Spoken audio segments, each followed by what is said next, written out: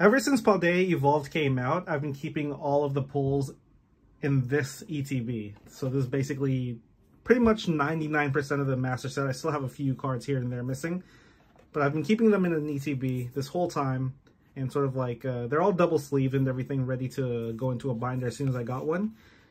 And I finally got one.